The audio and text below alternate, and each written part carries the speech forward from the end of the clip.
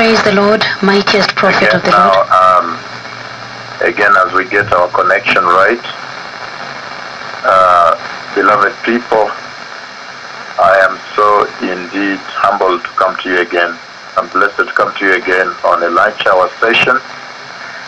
And we have seen, uh, we've seen in the past teaching, in the past lunch hour teachings, and I know that the entire globe is tuned in right now. And those that I was waiting for, those that normally get released about 12.30 for their lunch, uh, for their lunch hour break, I know that right now probably they're all tuned in now. But uh, in the past teachings we have seen that it's very important to adhere to the instruction of the Lord that the Lord placed in the Bible. And the Lord Jehovah, He gave us the Bible as the compass to navigate the church and navigate the church. And again, uh, Senior Pastor Sophie, in case I am not clear or I'm cutting in my network, you simply switch it off. I will always call back. Did you hear me, please? Yes, please, mightiest prophet of the Lord. Yes, in case, because the teaching is very important. If my network is breaking, all you do is you cut it off air and then I recall until we stabilize. Well, uh, beloved people, in the past we have seen very important teachings here. Um, we started with the rebuilding of the wall of your Christian salvation. And at that time, I focused on Christian porosity, porosity in Christian salvation, at which we looked at the several assaults, the several aspects of our daily lives on this earth that do assault. You can call them external insults or external assaults that uh, a barrage of them in your workplaces, in your lifestyle, in your daily life, that do assault, do attack your Christian salvation. And so at that time we focused on rebuilding the wall of your Christian salvation. And many issues came up. For example, I brought it to you the question, what are those things that predispose, predispose your salvation to porosity, to attacks? What are those things that cause the that cause, that, that define define the broken parts of the wall of your Christian salvation? Remember, he told Israel to build a strong wall. He told them to build forth a very strong wall around the place of worship in Jerusalem and to place some sentry towers also. So it's really not the wall alone, the strong wall, but also to put sentry towers for some watchmen to be there to see what is coming and announce to the people. And we even saw the hours of attack during the third watch, when now there is always the attack. And there are so many ways to that already. So we looked at what are these things that allow the marauding Bedouins of today to come and trample and defile your worship place. The worship place of Jehovah that is the altar of your heart. And after looking at uh, Christian porosity, porosity in Christian salvation, and then uh, we also looked at laying the right foundation for your Christian salvation.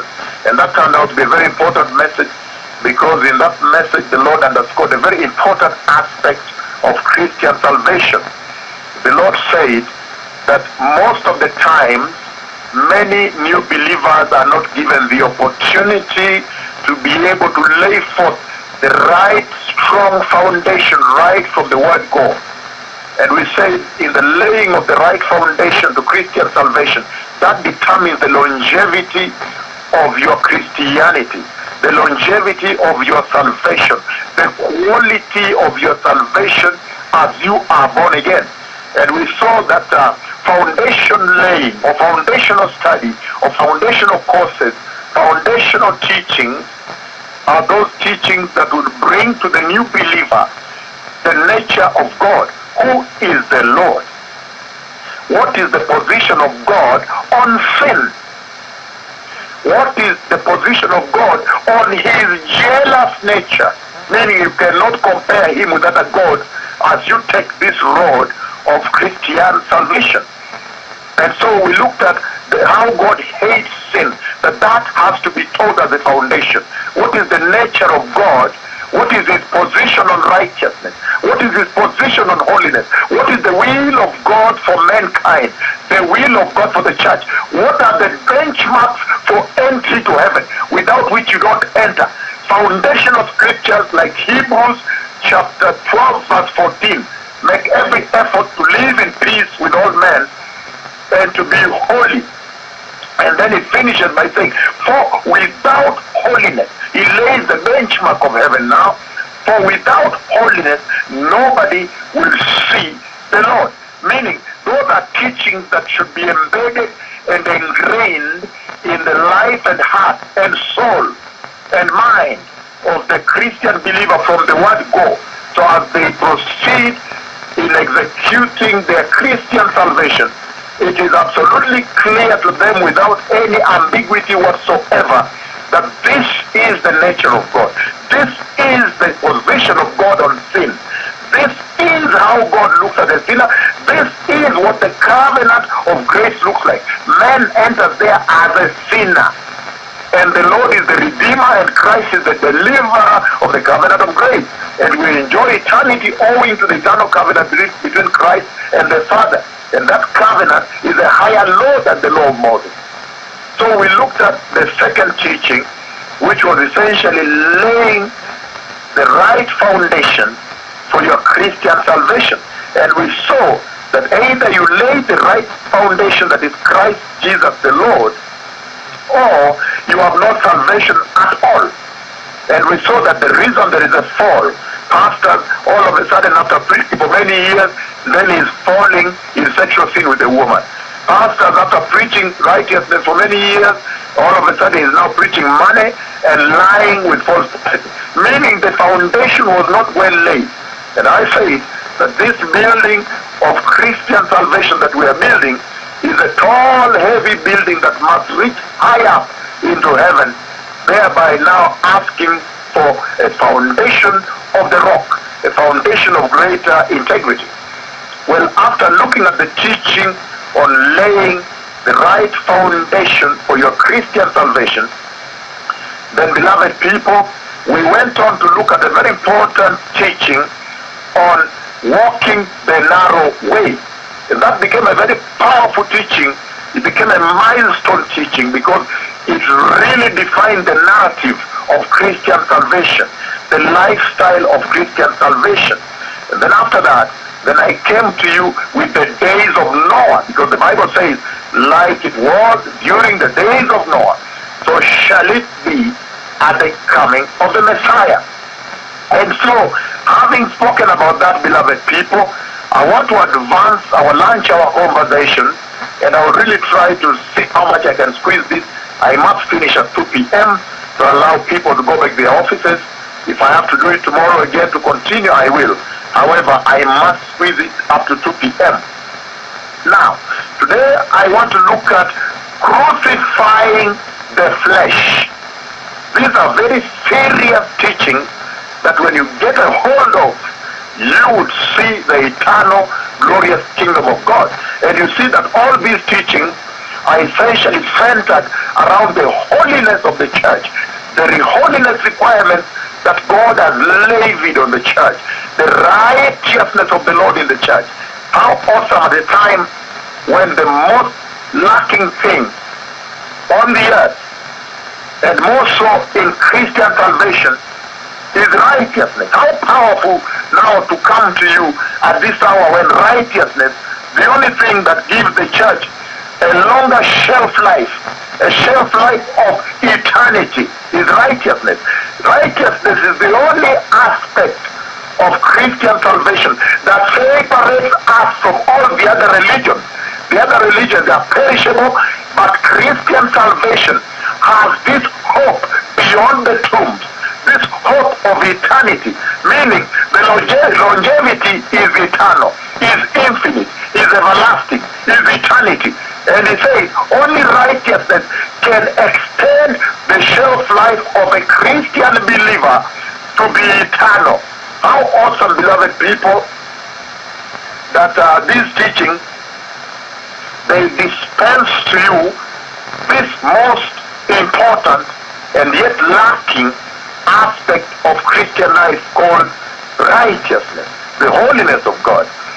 So today I want to look at crucifying the flesh, a very, very important aspect and part of Christian salvation, without which, again, there is no salvation. And very soon we're going to realize that when I talk to you, when I begin to talk to you, to come to you, and begin to engage you in this kind of discourse, I will essentially be talking to you about the doctrine of the cross. I'll be talking to you about the cross and the blood of Jesus. How awesome at a time when the church has deviated away from teaching the gospel of the cross and the blood. Remember, only the cross and the blood give power. The cross is the heart of the gospel, and the blood is the power unto the gospel, beloved people. And so today I would like to begin by reading our first scripture. It's a long sermon. This is really long. I don't know how far I can run, how fast. With many, many scriptures for you, beloved. And remember always when you teach, you must anchor yourself unto the word. The word is the compass. The word is the scale. The word is the navigator. And the reason I'm coming to you with this teaching globally is because on the 15th of January this year, the year 2017, the Lord took me up into the sky and then he showed me the church coming on a narrow road, entering heaven, and the huge cloud that's almost the size of the earth opened and I see I saw glorious steps and I saw the church entering into eternity. This is now the central theme of the conversation the Lord is having with the church. And that's why in our calendar, this is the message beginning next year that I'll bring to Hong Kong, bring to Malaysia, bring to Portugal, bring to those countries. I don't know which four countries the Lord will bring me to, but probably around that direction. Bring to Peru. The, the, the, there are so many nations, but we can only come to as we manage. And this channel, this platform becomes very critical, beloved people. So I have seen the church entering. And that's why it's important now that we nail down, we pin down the most important aspect and facet of Christian salvation. That when the day and the hour that is unknown come, you don't miss eternity. Now, crucifying the flesh, I want to begin with the book of Galatians chapter 5, verses 23 to 25. So beloved people, turn with me to the book of Galatians chapter 5, if you will. Galatians chapter 5, verses 23 to 25 to open up this whole conversation.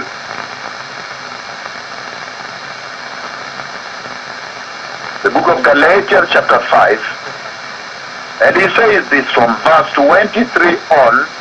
We can start from 22 if you so will.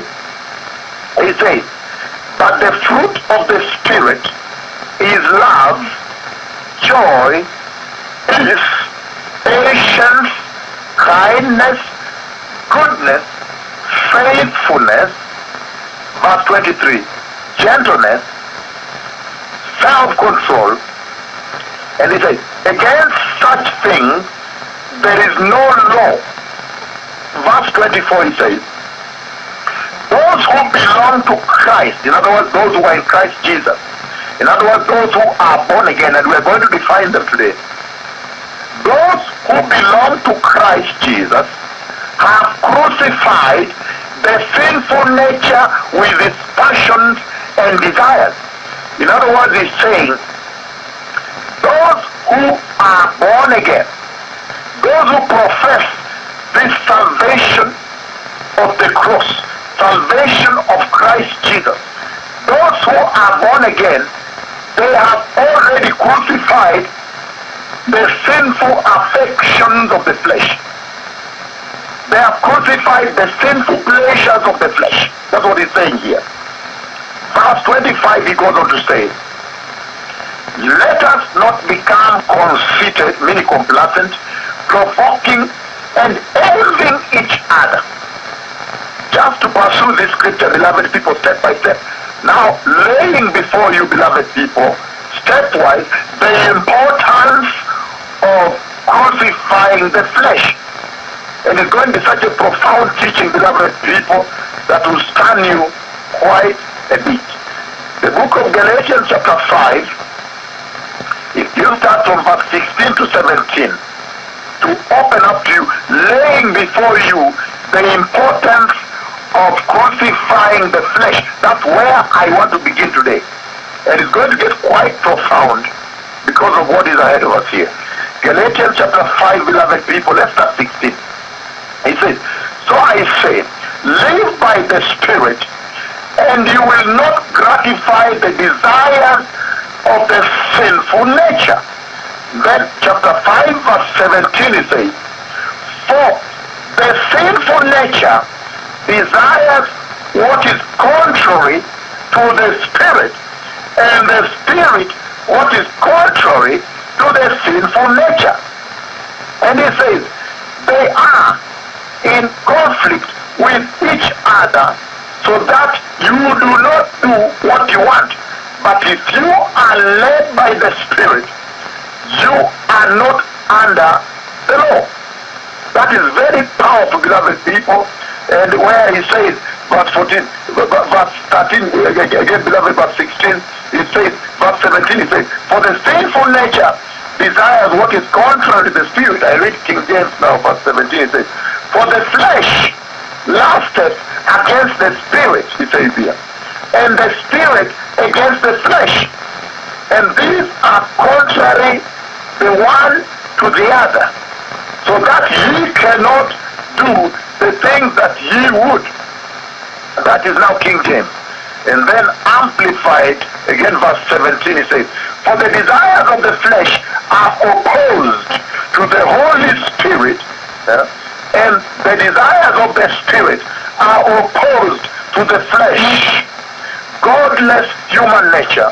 For these are antagonistic to each other, continually withstand and in conflict, again, withstanding and in conflict with each other, so that you are not free, but are prevented from doing what you desire to do. So, beloved people tuned in, in your workstation, some of you in your workplaces, in universities, some in Australia, some in the US, all across the United States, across Europe, South Korea, Australia, Singapore, all the way to Hong Kong, and the nations of Africa, Nigeria down to South Africa, all the way from Cairo. Beloved people, the importance I'm laying before the church today, the importance of crucifying the flesh is because when Christ Jesus was sent unto us by God the Father as the carrier of the covenant of salvation, the covenant of the grace, the covenant that would release us from the bondage of sin and give us a new lease of life. What do you see? Christ Jesus brought a spiritual covenant. No wonder the cross sits at the very center of the mission of the covenant of the grace the Messiah brought. The reason the cross sits at the center of the gospel of Jesus is because there is a perpetual conflict between the flesh and the spirit, such that whichsoever wins, then ruleth thee, will rule you. And yet the salvation that we receive from heaven, from Christ Jesus, is a spiritual salvation from the spirit man that is Jesus. And that's why in my introduction and preamble here, what I'm laying right before you, beloved people, is first and foremost the significance of crucifying the flesh, the importance of bringing to an end to crucifixion the sinful affections of the flesh. Why? Because they are the ones that will mess you up on that final day of reckoning, the day of the truth, the day when we will know who really was born again on this earth. All those that say, I am born again, I am born again, I am spirit filled. On that day, that is the day that will really tell us who was really born again on this earth. And as I proceed, beloved people, the book of Romans chapter 6, again, laying significance, simply laying before you the significance in this preamble, the significance of crucifying the flesh, so that you may now walk free from the sinful affection of the flesh that I intend on bringing you to hell, beloved people. And the reason you see the tremendous apostasy, the fall in the church that you see today is because the flesh of the Christian believer, the flesh of the church has gone virtually unchallenged and crucified. So that's why you see the flesh ruling the church today. That's why you see the women dressing the way they dress. That's why you see the men dressing the way they dress. That's why you see the men behaving the way they are behaving. That's why you see the abortions in the church. That's why you see the worship where people almost worship in nudity or in immorality. Those dances are immoral. You must have wondered, does this really please the Lord? That is the act of the flesh. The action of the flesh unimpeded, unchallenged, uncrucified. That's why you see a pastor can stand up and give a false prophecy without fearing the Lord. Because if you fear the Lord, you cannot. That is the flesh unchallenged and crucified. So this is a central teaching for those of you that would like to see the eternal kingdom of God. And I believe that all of you do. The book of Romans chapter 6 verse 6, you can read the whole thing at home. But for the purposes of time and a quick lunch hour session for you, Rob, already I have only one hour 15. Romans chapter 6 verse 6 it says, For we know that our old self was crucified with him so that the body of sin might be done away with, that we should no longer be slaves to sin because anyone who has died has been freed from sin. How powerful, beloved people.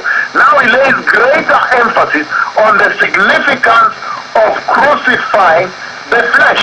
Because he says that the old self was crucified. And behold, the new self is you. And he says that the old self submitted itself completely, absolutely, and totally to the sinful nature, to the flesh, beloved people. And he said, and you were then slaves to sin. But he says, behold, you that are born again, behold, now you are a new creation. Why? Because you are now born again. And when you are born again, your identity has changed. And it says, when you submitted yourself in the past, in the sinful nature, unto sin, a slave to sin, serving sin, now behold, you have another master. His name is the Lord Jesus. And you are now slaves or servants unto righteousness, he says. And he says that the sinful nature now should not have any control over you. And he says that is the true definition of Christian salvation. Somebody born again. Hey, how beautiful in the middle of the day, beloved people, to come to you with such a purifying message lingo. Evangelio muy lindo, lindo in español. A very pure and clean gospel. Revelation chapter 3, verse 21. The significance, I am still dwelling on the significance of crucifying the flesh. Revelation chapter 3, verse 21. Look at what he says here. He says, To him who overcomes, I will give the right to sit with me on my throne. Wow. Just as I overcame and sat down with my Father on his throne. He who has an ear, let him hear what the Spirit says unto the churches. How beautiful, beloved people. He is now saying that the act, the act of crucifixion, the act of crucifying the flesh the true definition of an overcomer. Is the true process that leads to victory in Christian life, in other words.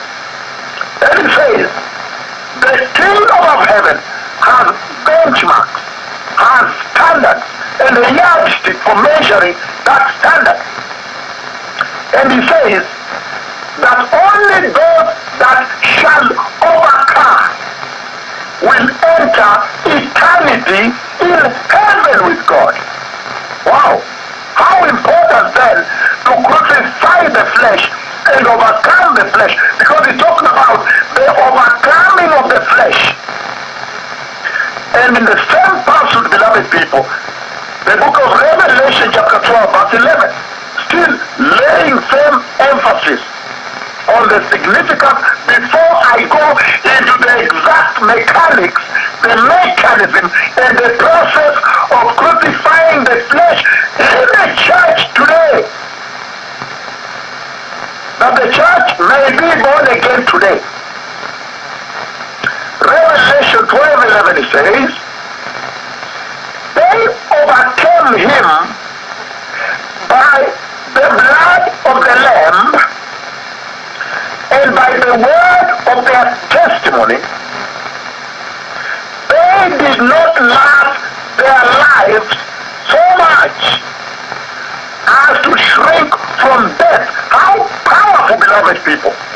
How mighty to read that. Because he's essentially saying in our introduction today, he's saying the act of overcoming, the act of overcoming the artfulness, the practice of overcoming the adversary, the enemy on this earth, he says, is an act that passes through the cross by the power of the blood of the Lamb. And he says, to the extent that they feared not to die to die to self, meaning they feared not to crucify the flesh and then overcame. How powerful, beloved people, that this becomes now the identity of the citizenry of the kingdom of God, plus uzalendo hawa, uzalendo hawa, their, their love for their citizenry. How powerful, precious people. First John chapter 5, still laying the foundation on overcoming, on crucifying the flesh. In other words, overcoming the flesh.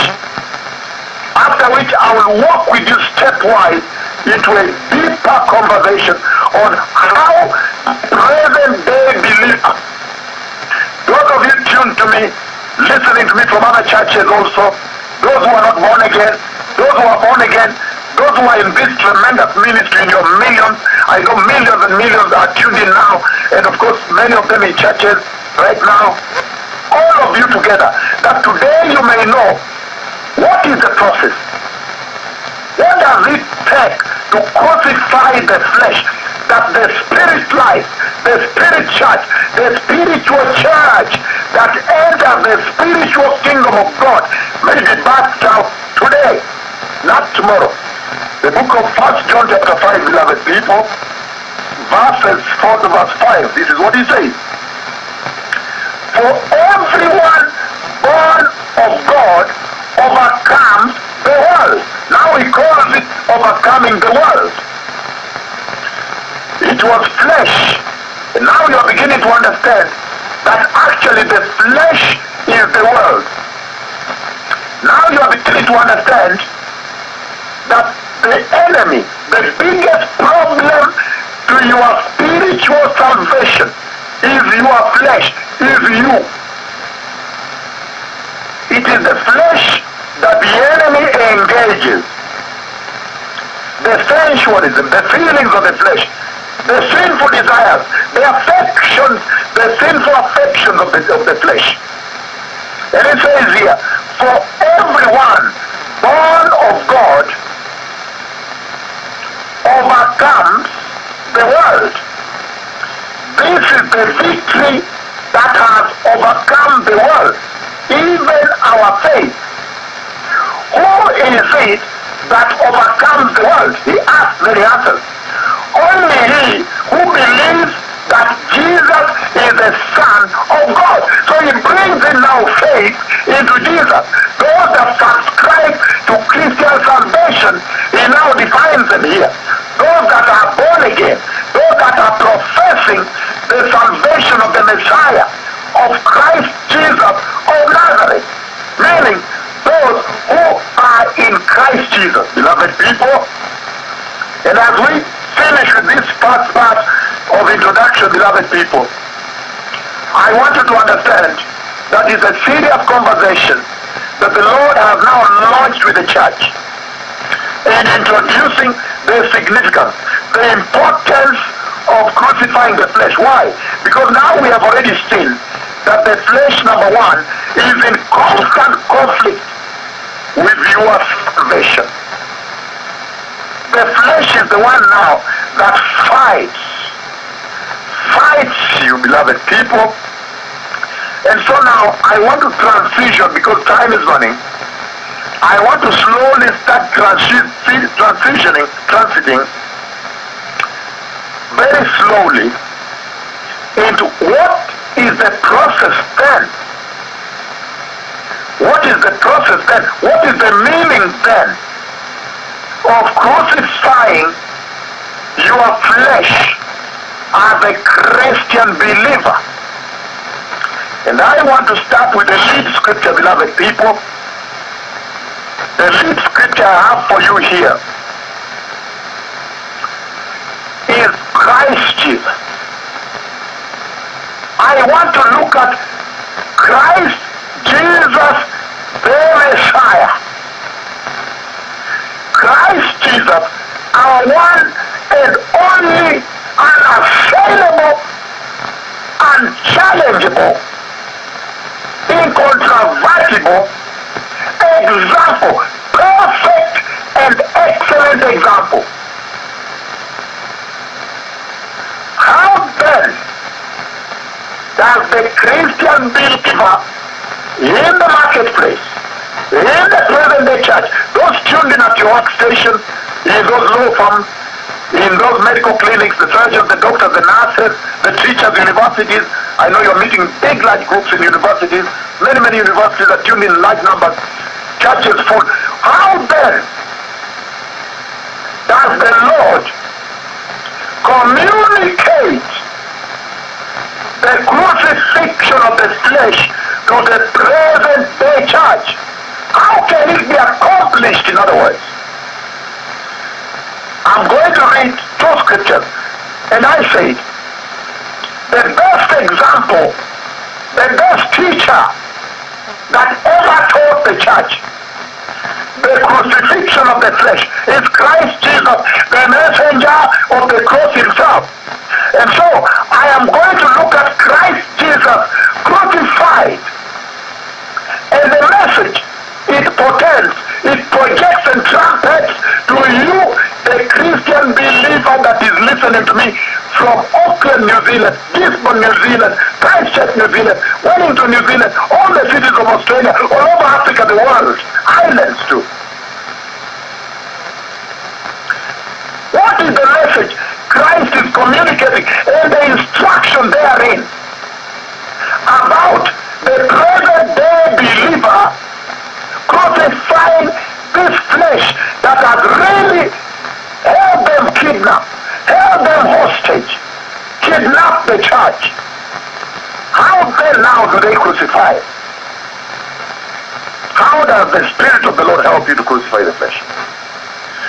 Let us look at Christ Jesus, and there is no better place to go to than Christ Jesus in the Garden of Gethsemane Gethsemane. The book of Matthew 26, beloved people, that is where crucifixion of the Messiah began. If you did not know. The crucifying of Jesus, that is an example and instruction to us, the church, did not begin elsewhere except in the Garden of Gethsemane. Hey. And he says here, beloved people, the book of Matthew 26, I have four versions, but because I'm coming to East African time during lunch hour, I will really try to focus on one version, NIV for easy understanding, and then the rest of the versions we can read next time when we have the latitude of time. The book of Matthew 26, beloved people, verses 36 to 45. There are key things that I want to pull out from there. Very powerful, instructing the church. What does it mean to crucify the flesh in the present day church? Matthew 26, verse 36, he says, Then Jesus went with his disciples to a place called Gethsemane. And he said to them, Sit here while I go over there and pray. Verse 36, Matthew 26. Verse 37, Matthew 26. Verse 37 it says, He took Peter and the two sons of Zebedee along with him, and he began to sorrow, to be sorrowful, to sorrowfully pray, pray, pray. Again, again, let me just begin verse 37. Let me just calm down a little bit because of time. He took Peter and the two sons of Zebedee along with him. And he began to be sorrowful, number one, and troubled, number two. Then he said to them, verse 38, My soul is overwhelmed with sorrow to the point of death.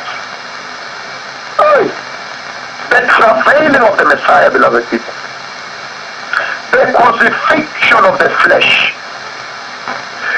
Stay here and keep watch with me. Verse 39. Going a little farther, he fell face with his face to the ground, face down, with his face to the ground, and prayed. And pay attention to this prayer, beloved people. My Father, if it is possible, may this cup be taken from me. Yet not as I will, but as you will. I repeat, verse 39. Going a little further, he felt, he rather, he fell face down. He fell with his face to the ground and prayed. My Father, if it is possible, may this cup be taken from me. Yet not as I will, but as you will. I want to read verse 39, King James, he says. And he went a little further and fell on his face and prayed, saying, Oh my Father, if it be possible, let this cup pass from me. Nevertheless, not as I will, but as thou wilt. Amplified says, and going a little further, he threw himself upon the ground on his face and prayed, saying, My Father, if it is possible, let this cup pass away from me. Nevertheless, not what I will, not what I desire, but as you will and desire. And he goes on to say, beloved people, verse 40, then he returned to his disciples and found them sleeping. Could you men not keep watch with me for one hour? He asked Peter. Watch and pray so that you will not fall into temptation. The spirit is willing, but the body is weak. Beloved people, how powerful a scripture. Verse 45. Again here it says, the spirit is willing, but the body is weak. Verse 42. He went away a second time and prayed, My Father, if it is if, if it is not possible for this cup to be taken away unless I drink it, may your will be done. Hey, he now advances the prayer. Again, 42 I repeat. He went away a second time and prayed, My Father, if it is not possible for this cup to be taken away, in other words from me, unless I drink it, may your will be done. How powerful, beloved people. Verse 43. When he came back, he again found them sleeping because their eyes were heavy. So he then he left them and went away once more and prayed the third time, saying the same thing. Verse 45. Then he returned to the disciples and said unto them, Are you still sleeping and resting? Look, the hour is near, and the Son of Man is betrayed into the hands of sinners. Rise and let us go. Here comes my betrayer. After that, he was arrested and was taken and crucified, beloved people. So this one today, as we enter, we have uh, we have uh, about 54 minutes to go. As we now enter the mainstream of this message, beloved people, and it's going to be a series. I'll come come to you tomorrow if I can. We see, beloved people, that this this encounter that the Messiah has with the cross, with the crucifixion of the flesh, with the travail of his mission, this at the Garden of Gethsemane, this is our lead scripture. This is the foundation. This is really our reference scripture for today on this blessed conversation on crucifying the flesh in the present day church. Crucifying the flesh in the life of the present day believer, the present day Christian. There are many powerful things that come out of here. Number one, you see very clearly that when the Messiah comes to the Garden of Gethsemane, then all of a sudden, he begins to pass through a tremendous sorrow. He becomes so sorrowful, so troubled, and his soul is overwhelmed with sorrow, overwhelmed even unto the point of death. And when he comes there, the sorrow was so big. Why was the sorrow so big? Before I go to the reason, first of all, let me make the architectural arrangement that is in the garden here very clear and apparent to you. First and foremost, beloved people, first and foremost, when now the Messiah wants to begin to reveal the passion of the Christ, the suffering of the Christ, to reveal the Christian salvation he the salvation of the cross, the crucifixion of the flesh. When the real hour now arrives for the Messiah to finally reveal the true covenant of the grace, the true salvation that brings men to heaven. Then you find something interesting here. He says, He took with him, I'm reading Matthew 26, 37.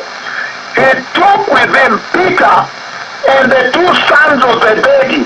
He took along with him Peter and the two sons of the Zebedee. Peter and the two sons of Zebedee. When it was time for the Christ to show the crucifixion of the church, of the flesh, and the instruction thereat, he did not take everybody. He did not. He takes Peter and the two sons of Zebedee.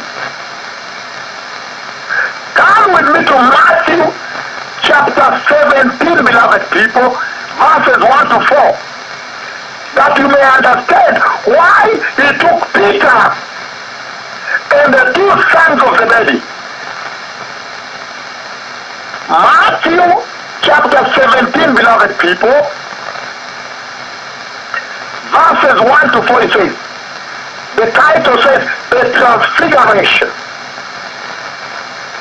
And it says, after six days, Jesus took with him Peter, James, and John, the brother of James, and led them up a high mountain by themselves. Verse 2, Matthew 17. There he was transfigured before them. His face shone like the sun, and his clothes became as radiant, as white as light. Jesus, again he says, he was transfigured before them. Peter, James, and John the brother of James, the two sons of Zebedee. That's why I repeat. There he was transfigured right before their very eyes, before them. His face shone with radiance like the sun, and his clothes became as white as light. In other words, whiter than light. Just then, there appeared before them Moses and Elijah talking to Jesus.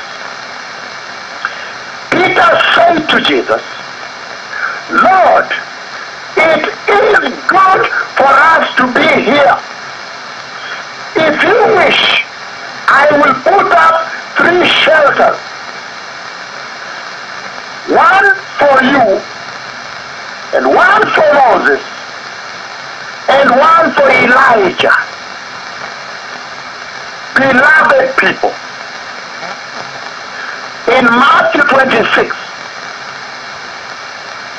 he says, at the Garden of Gethsemane, Matthew 26 from 36 on as we read. He says, when it was time for the Messiah to present the crucifixion of the Christ, the passion of the Christ, to reveal it to the church, the envy of the church, the key to Christian salvation, the cross. He did not take everybody. Hey. He took only Peter, John, and James, the two sons of Zebedee. He took only those who have already beheld the glory of the future, the glory of the Messiah. Hey. He did not take everybody. When it comes to the crucifixion of the flesh, when it comes to crucifying the flesh because before before I go into the dynamics. Only today that I beheld the glory of the Messiah, the glory of the salvation it brings. Only today that it has been revealed that this is Christ, the Son of the living God. Those who have seen his glory, only to them is it revealed. Why? Why hide it?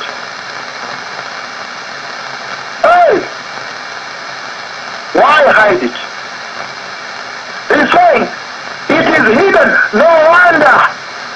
No wonder you see the entire church globally wallowing in sin, wallowing in sin, wallowing in sin, and again tomorrow in sin. Come back on Sunday and go back to sin. He's saying only today that have beheld the glory of the Messiah, that have seen his transfiguration and the glory that God the Father has apportioned him, his glory. To them it is revealed because only they can understand it and choose it. Hey. Why do I say so? Why does he say so? Because he's saying, my soul is overwhelmed and my sorrow to the point of death. And he says, my father, if it is possible, may this cup be taken away from me. The Messiah, when he came to the point of now crucifying the flesh, the ultimate point of the mission of the Messiah, the agenda of God, now to be established on the earth. He took a few, but when it came to that point, he was so overwhelmed, outweighed to the point that the Messiah wanted to give up. Hey! The Messiah wanted to give up.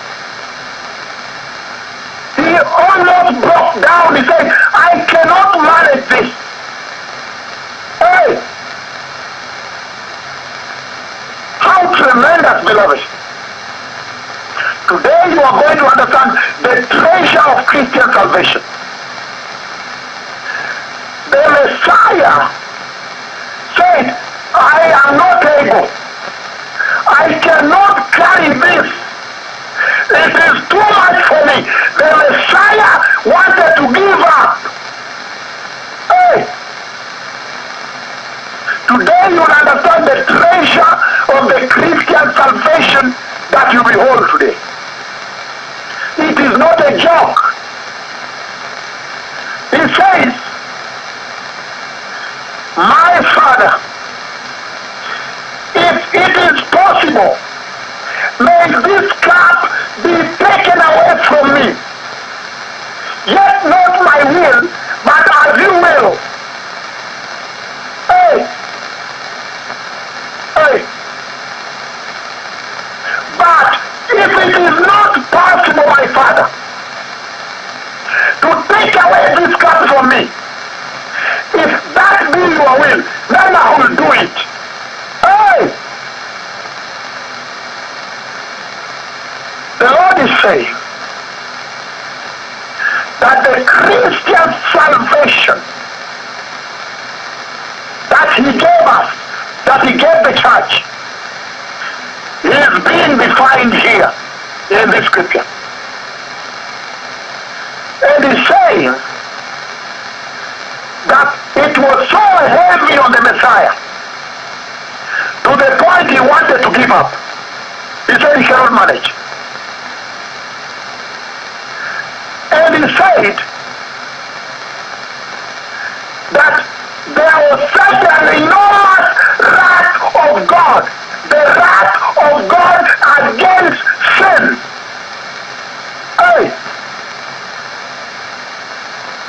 the entire wrath of God against sin, and you know the eternity of sin. The entire wrath of God was resting on him. How heavy, beloved people? How heavy? He's saying the sword of the justice of God was now awakened, had been awakened against him to pay the price for sin. It was heavy. It was really heavy. It was not easy.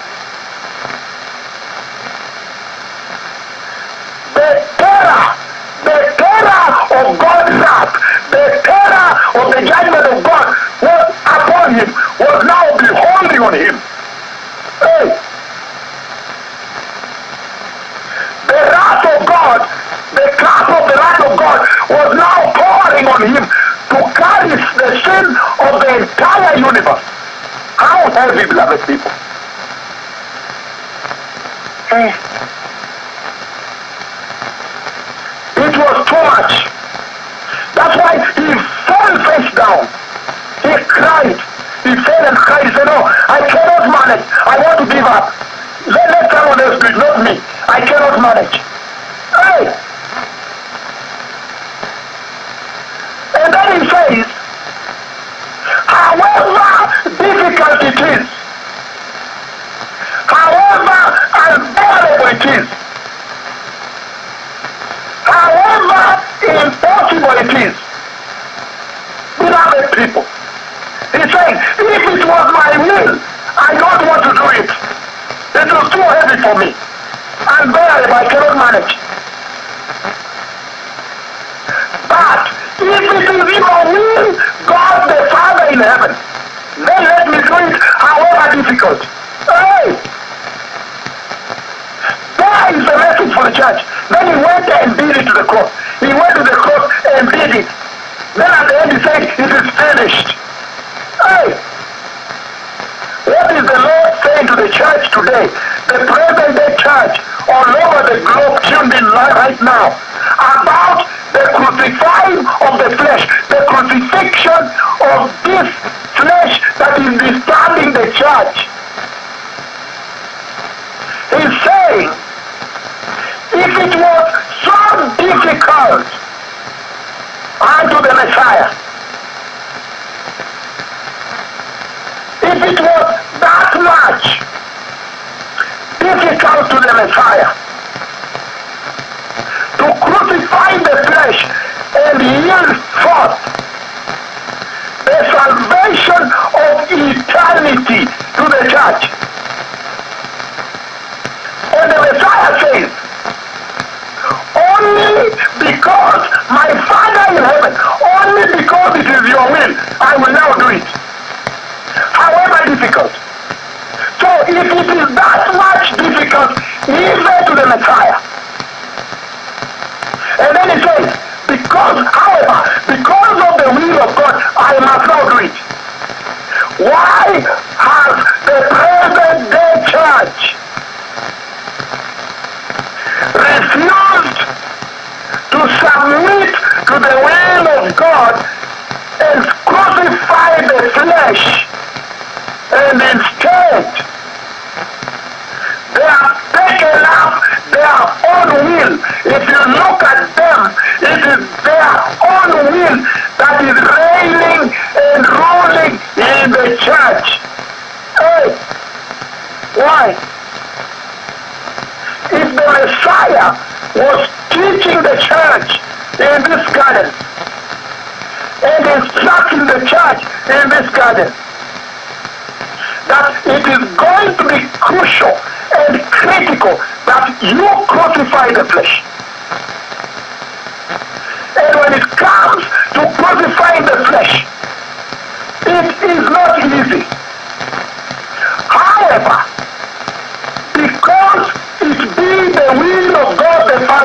must surrender and say, I will just do it because it is the will of God the Father. Hey! Hey! He says, however, not my will, but your will. Because if you asked me, it was too heavy. I cannot do it. If you ask me, it is too sorrowful. I am overwhelmed. The entire wrath of God on me is overbearing on me. I cannot manage. But because it's your will, I will just do it. Why hasn't the present day church learned that this, this is the definition of the crucifixion of the flesh?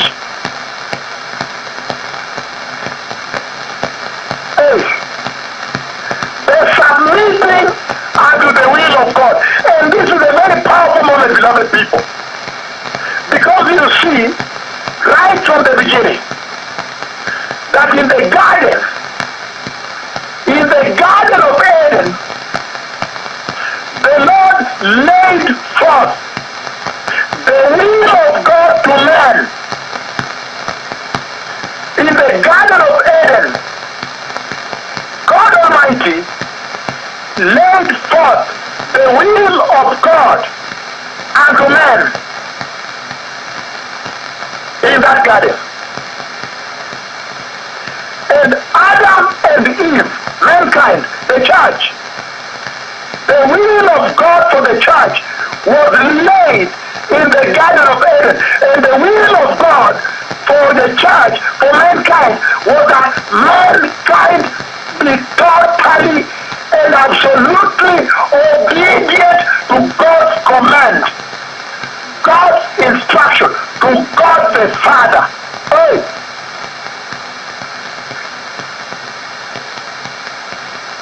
The book of Genesis, beloved people. Genesis chapter 2. The will of God for the church. That's where I want to begin from to handle the mechanism that we have begun. What does it mean to crucify the flesh? Genesis chapter 2, beloved people. Genesis chapter 2 submitting to the will of God. The will of God for the church. Genesis 2, I will read from 15 to 17. And he says,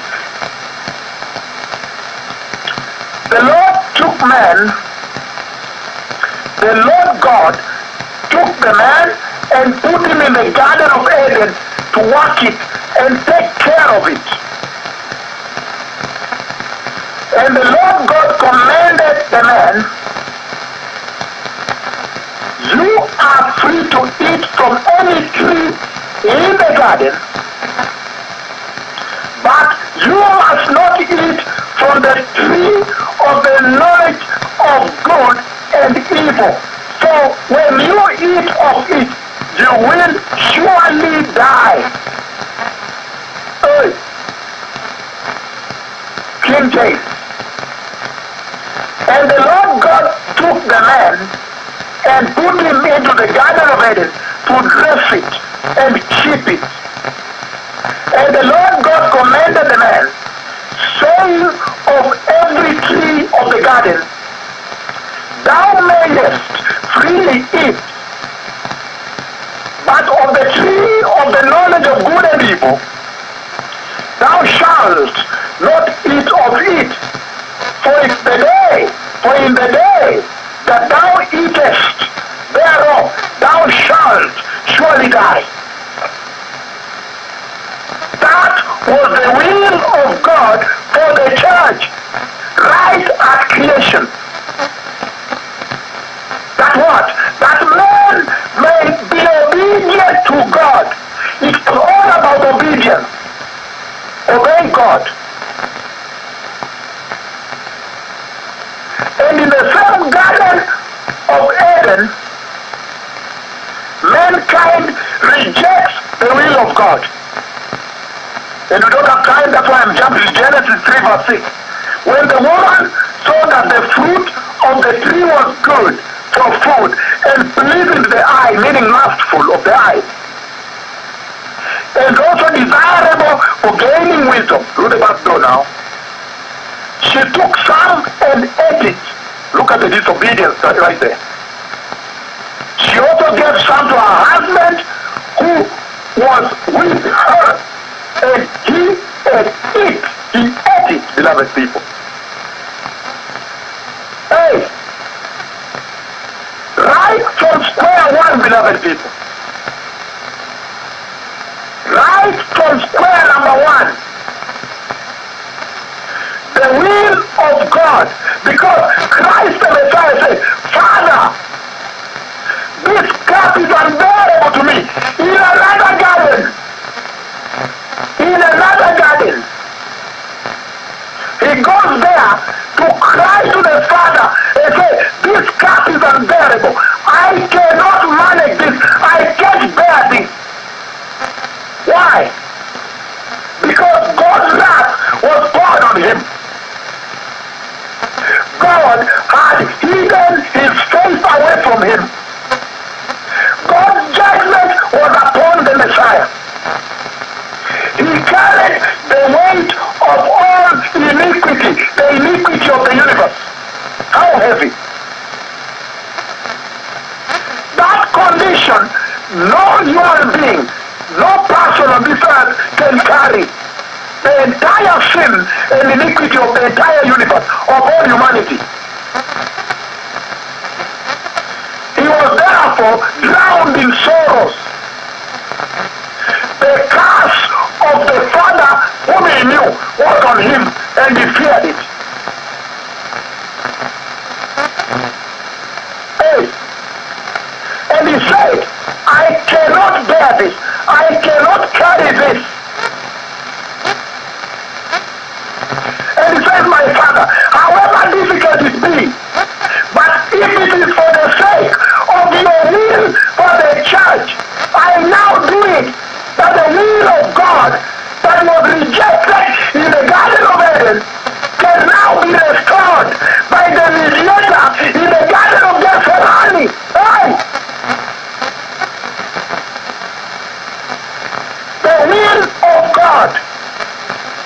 what a mighty day today. So this is very powerful, beloved people. Why do I say so? Because right away now we see that the mediator of the covenant, the messenger of the covenant of grace,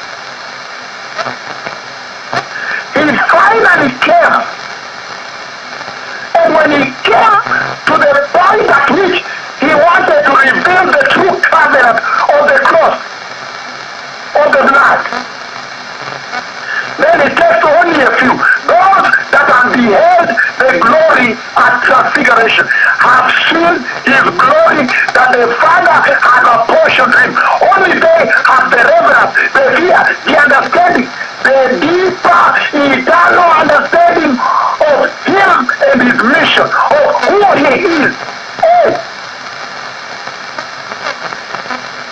And he says,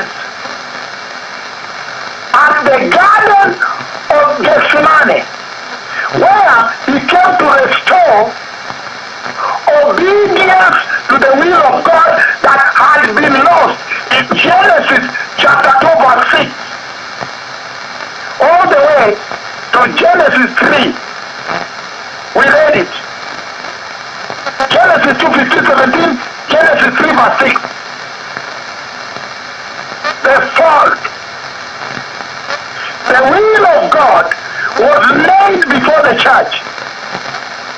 Obedience, obedience, obedience, obedience to God, and you'll see eternity. And mankind in the Garden of Eden rejected the will of God and disobeyed God.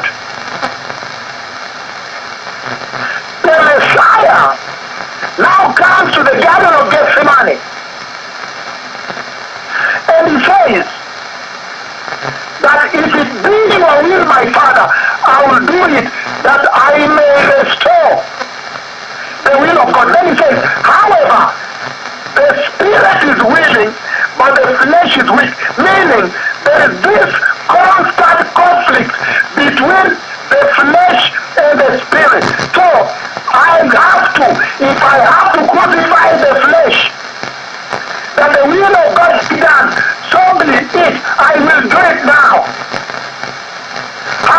However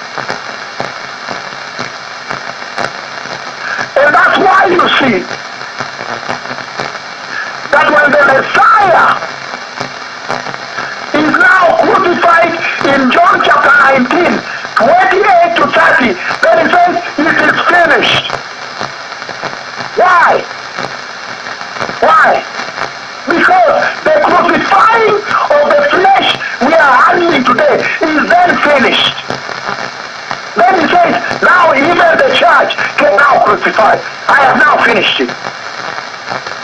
And see eternity.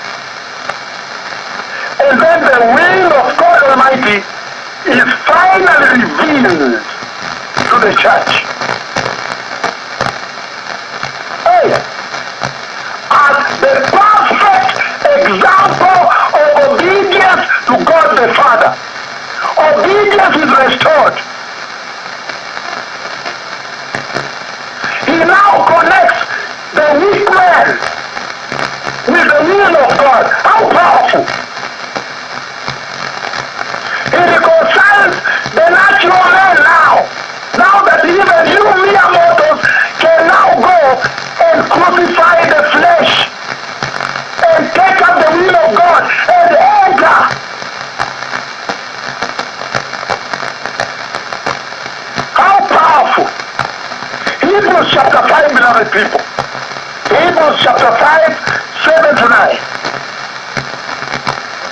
the passion of the Christ, the suffering of the Messiah, the crucifixion of the flesh that teaches the church, the way that leads to a holy salvation, to eternity. That the apostasy you in the church may finally come to an end. Hebrews chapter 5, 7 to 9, beloved people. Get there with me, beloved, real quick time. Hebrews 5, 7 to 9. During the days of Jesus' life on the earth, he offered up prayers and petitions with loud cries and tears to the one who could save him from death. That scripture crushed me. Crushed me. And he was heard because of his reverent submission. You can see in the garden, he throws his face down to demonstrate the reverent submission.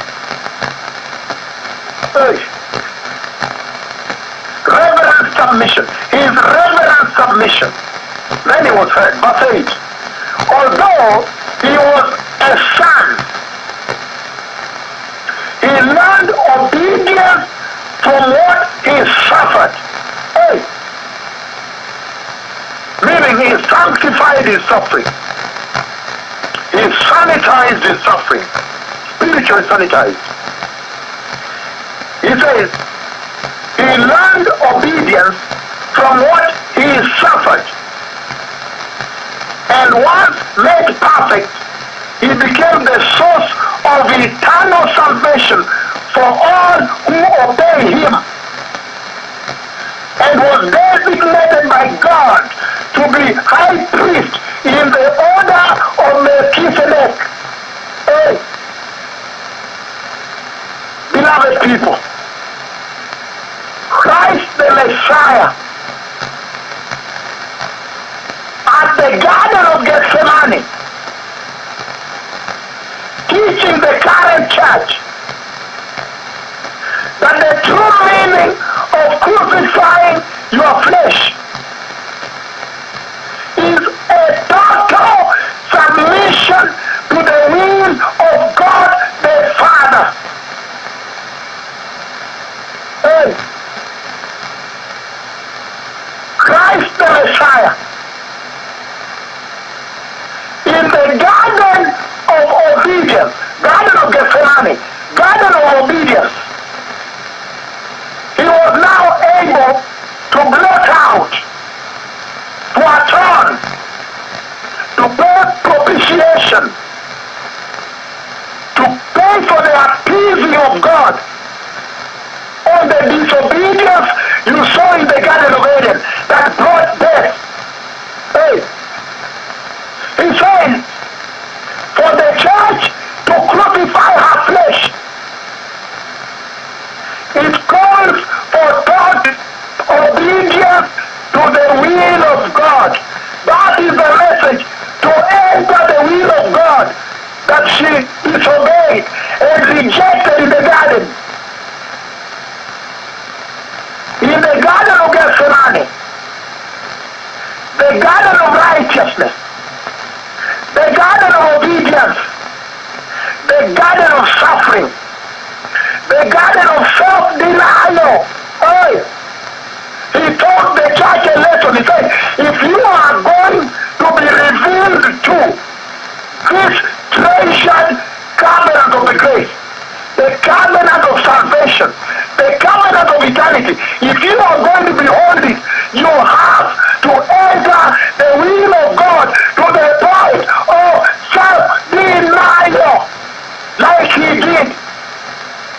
However difficult, oh, and I'm saying with all my thorax, all my lungs, beloved people,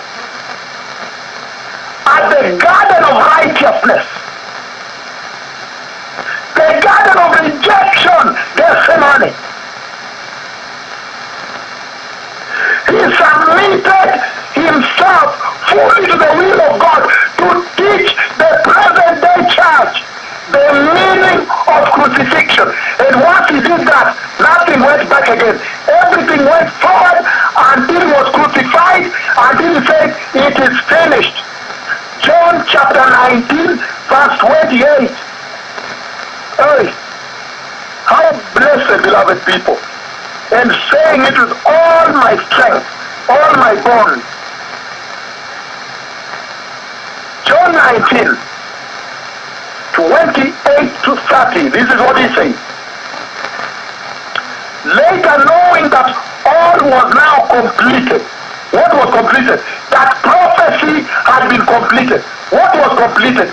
That the sins of men had been fully paid for. All the debt that was owed to God Almighty by the sinful of men in failing to obey his will at the Garden of Eden was now fully paid for.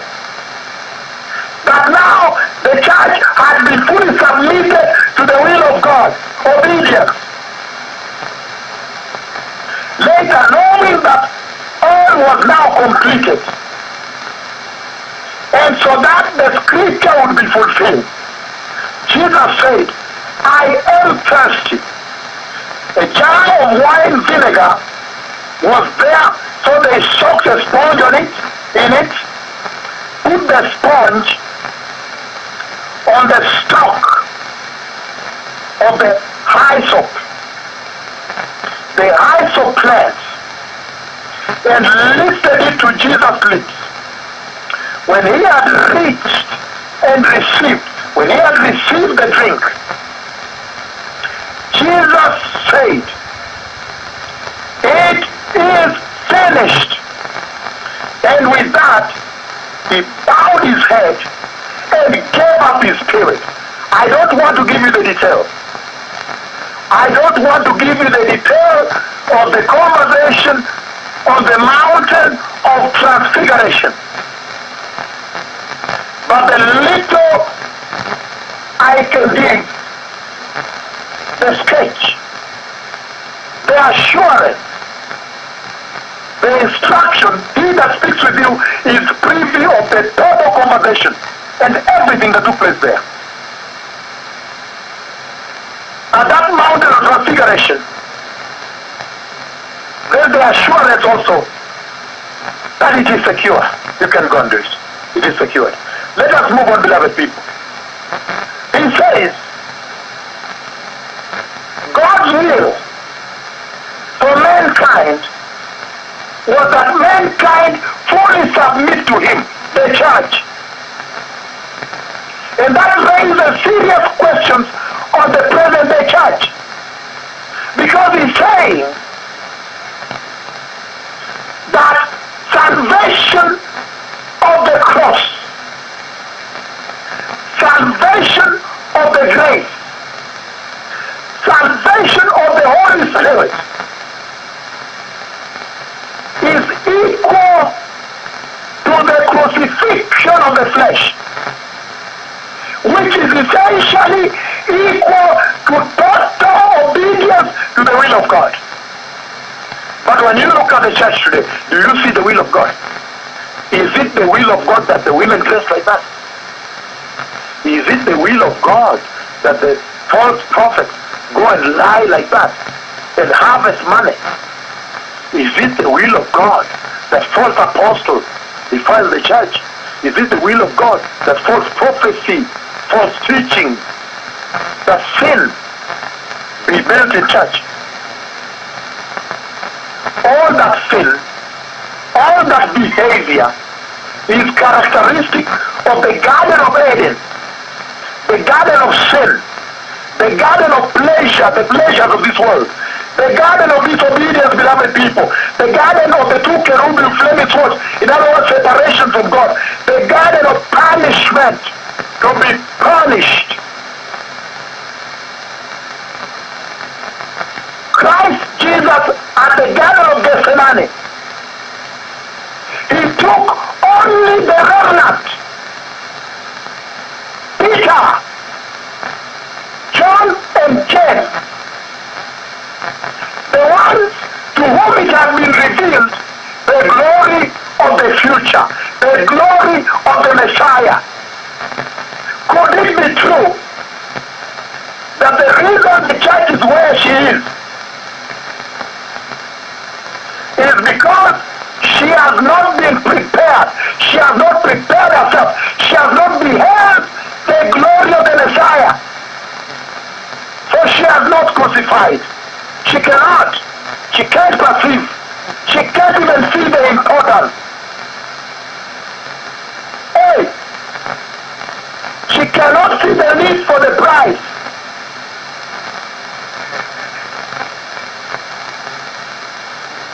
Father, if it is your will, let this cup be passed from me, be taken away from me. Gethsemane. The bitter cup. That cup, the Lord was essentially saying that for all those that will behold this Christian salvation of the grace, there is a bitter cup. There is a bitter cup of God that you must partake of. Hey! The cup of rejection by your family for being holy. The cup of rejection by your friends. The cup of going for interview and holy and they say no, we cannot take that dressing. We have a dressing code in this bank, in this company, in this restaurant. We don't want that type of dressing. You would have to dress like us. Say, no, but I'm born again. Say, no, for that matter, we don't give you the job. So you are still, you are employed again. They have not given you the job. And you've taken three years, five years unemployed. They have rejected you. The cup of rejection because you are saying, okay, I take that contract, I'm a lawyer, I can do that contract with you, but I will not submit to corruption. They say if you don't submit to what we want, we are not giving you the contract. You are without the contract again. The cup, the bitter cup of rejection. Everybody that beholds the salvation of Jesus,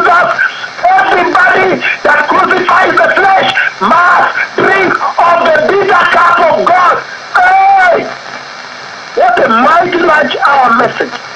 11 minutes to go. And I'm rushing because tomorrow I'll come back and widen it.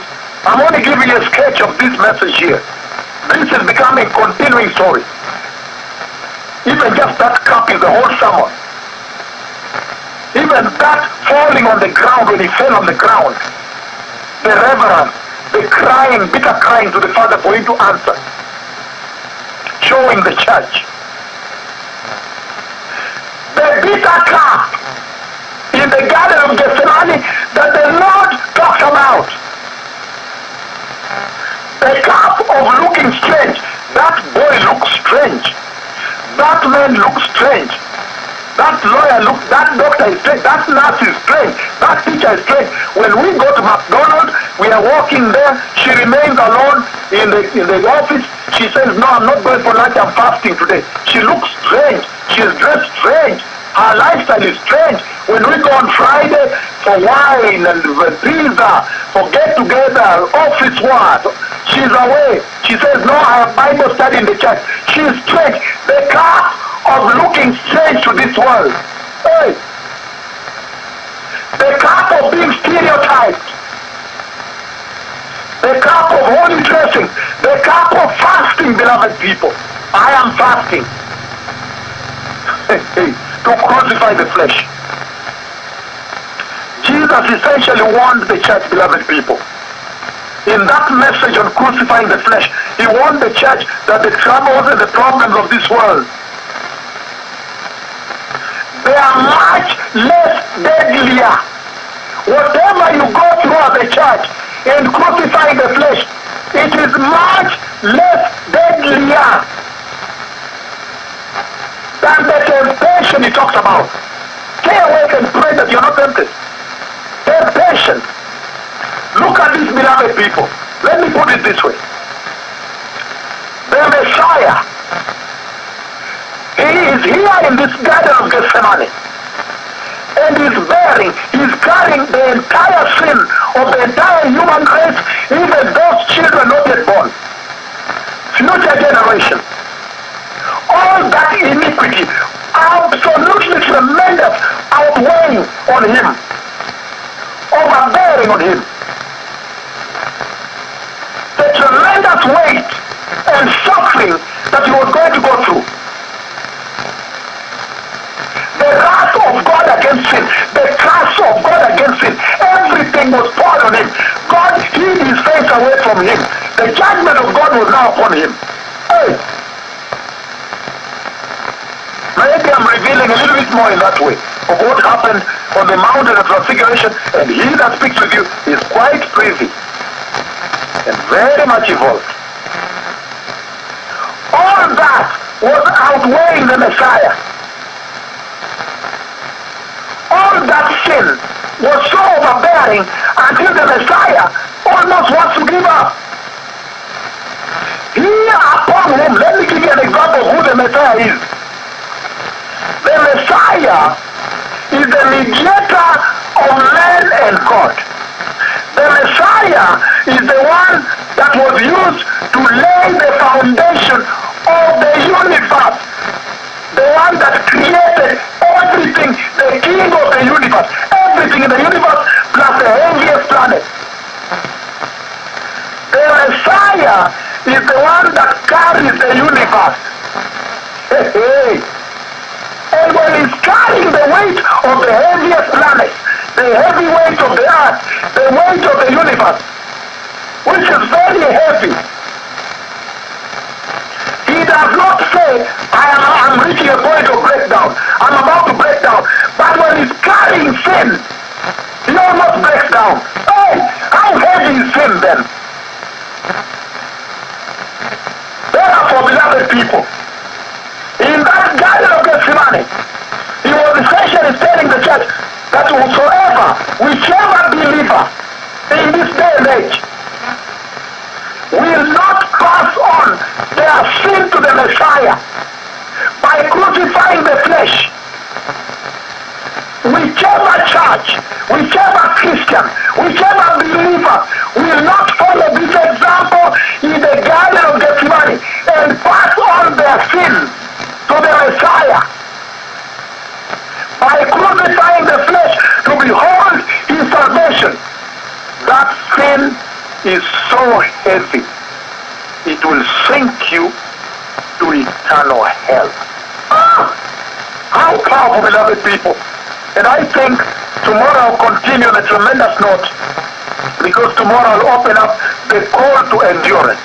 This is really a call to the Christian believer in the marketplace, all of you in that office. Maybe they look at you strange.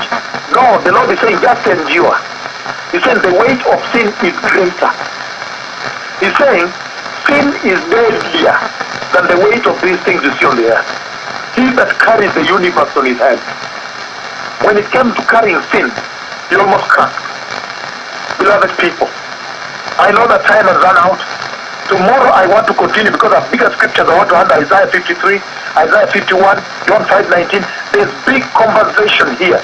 Not my will, but your will. The restoring of the will of God.